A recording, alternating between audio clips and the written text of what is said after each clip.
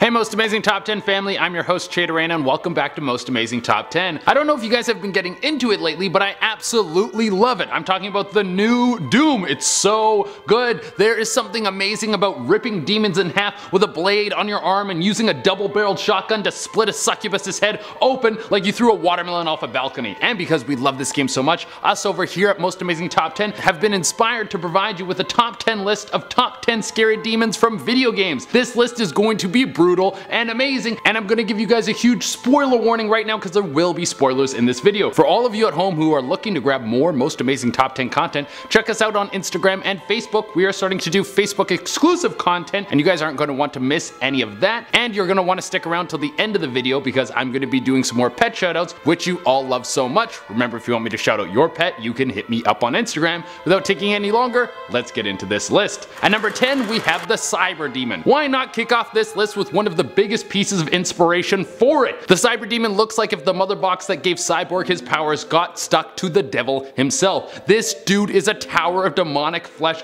with enough firepower to run through an army of tanks before dinner is ready. One of his arms is a straight up rocket launcher. You can't get any cooler than that. In the 2016 version of Doom, he has a back that is full of missiles that can shoot out and destroy you, jets installed into his side that can increase his mobility, and he can charge shot a laser blast out of his arm arm. He also has an energy sword on his other arm, and he can summon spikes out of the ground to trap you and attack you super easily. Basically, I would have put this guy higher on the list if he was actually scarier, but the Cyber Demon is way more cool than he is scary. At number 9 we have Catherine. This is one of the hidden gems on the PS3. If you haven't played this game, then you should definitely give it a shot. I don't want to spoil too much for you, but we are going to get into it. But in this game you play Vincent, who's been dating the same girl for a little while whose name is Catherine, but with a K. He has a pretty boring job and he isn't a very interesting person. He encounters a girl who is also named Catherine but spells her name with the C. This girl is super sexual and works extremely hard to try and get Vincent to cheat on his girlfriend. Throughout the game you make choices that affect the outcome of the story and at night Vincent is plagued with terrible nightmares that turn into this cool puzzle game. Now here come the spoilers. Turns out Catherine with a C is a succubus and has been trying to seduce Vincent for her own gain. It's a very interesting game with a very good ending. At number 8 we have Lucius. I've never played these games but they seem to have the dark and ridiculous gameplay that I can really get into. In Lucius you play a character who is basically Damien from the movie The Omen. He is a 6 year old boy who is constantly being talked to by the devil. You go through hitman type puzzles and you find items to frame and murder people and basically ruin everyone's life. The game itself is kind of bad and pretty out there but the idea of the devil being in a kid's head and telling him what to do has always freaked me out. Also I wanted to put a couple more obscure games on this list. At number 7 we have Remor. Fran Bow is a very interesting horror game. The art style alone is enough to make you feel like someone is behind you and just watching you. It follows a young girl who is prescribed medication and once she starts taking it, things go crazy. She then is tasked with finding and saving her cat. While she's on these adventures, she will encounter Remor, who kind of looks like the rabbit monster thing from Donnie Darko, but has a cow's skull for a face and constantly has blood flowing out of it. This beast is terrifying and it serves as the main enemy in the game.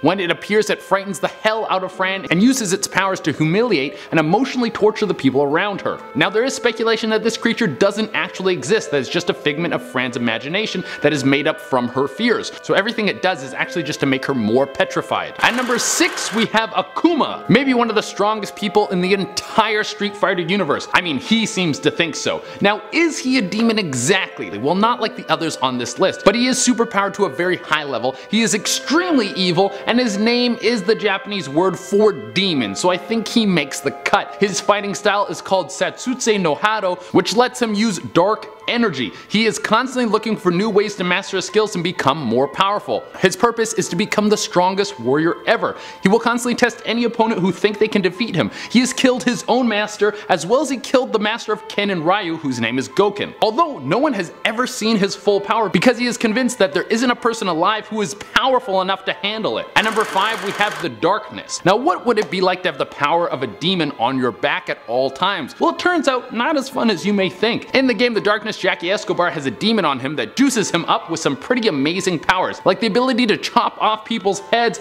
and heal from almost any wound. But at the same time, this thing is fueled by hatred, so will get Jackie in the mindset of constantly being enraged. It's like having a monster whisper in your ear all the time, telling you everything you need to hear so you would constantly want to kill people. You know when you get like a dog super hyper and then it goes crazy and pees on the carpet? That's Jackie, but with the power to kill everyone around him. At number 4 we have the Devil from Cuphead. Okay, this is by far one of my favorite games of all time. Can they please drop the DLC already? I'm tired of waiting for this. But the devil is the centerpiece of this game. He is the big daddy who tricks Cuphead and his brother into gambling away their souls. And once you get into this game, you learn that these aren't the only two who have been tricked by the devil into giving up their souls for a few bucks. Everyone throughout the Ink Isles has a debt to the devil, and he is the worst guy in town. Not to mention his slimy sidekick Dice Head. When you get to the final boss battle with the devil, he shows all his powers. He has summoning abilities, and he throws a barrage of minions at you. He can also shapeshift and change his head into a spider.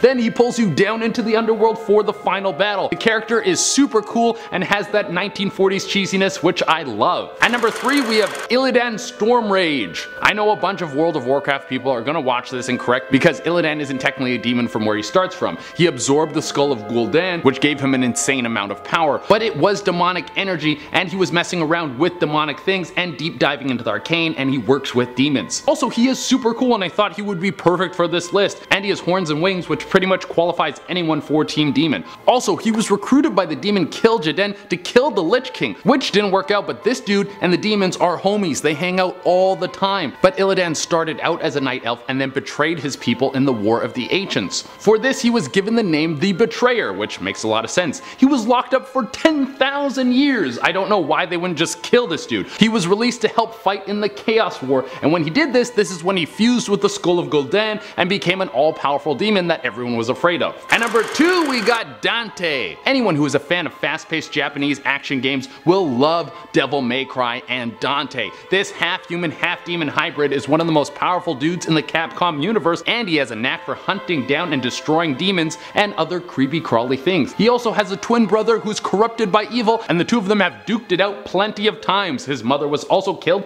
maybe by a demon. He has a buddy who has a demonic arm that can grow super big and rip things apart. There are a ton of other wacky characters who get involved in this series. There have been in total 5 DMC games, not including some of the expansions and remasters and additional content. And like most Capcom games, the lore is so deep. It would probably take me like 5 lists just to get through a semi-detailed breakdown of this character. So I'm just gonna go into his powers and we'll call it a day. He is super strength, super speed, agility, accuracy. He's a master of a ton of weapons. He has a massive sword called the Rebellion, along with a ton of other weapons, and he's able to go into a Super Saiyan type mode called Devil Trigger. This is a very quick breakdown of Dante, but the character is so deep and I only have so much time. And for the number one spot, we have Diablo. I mean, the guy's name is Diablo and it's a list of demons. You have to put him on the list, having him at number one only makes sense. Diablo, who is also known as Al Diablos, is the king of hell and basically has made everything bad ever. He is the devil and has an insane level of power.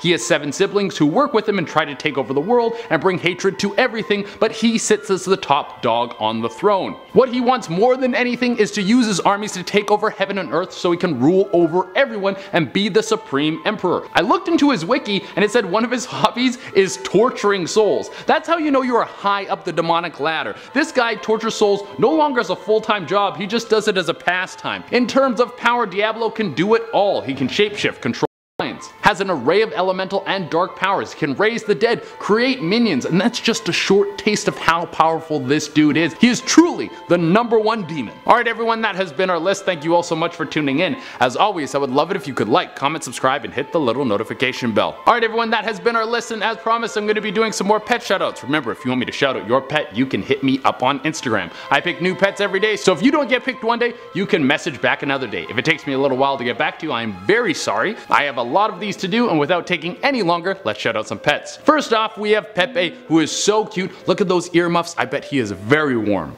Then we have Remy, who looks so cute. He wants a treat. I can tell he's got that little beggar face. After that, we have Pumpkin, who is a sassy cat. I can tell by her look that she's very sassy. This is Davy. I love that hat. I can tell he's coming in like, do you like my hat? Is it nice? I don't know. And then to close it out, we have Maggie, who also has an amazing hat on. Oh my god, so many dogs, so many hats. Is This is a very good day. Alright everyone, that has been our list. As always, I would love it if you could like, comment, subscribe, and hit the little notification bell. Until next time, I have been your host, Che Durena. Now I just gotta play so many games. More Doom, more Doom, Doom all the time. Bye.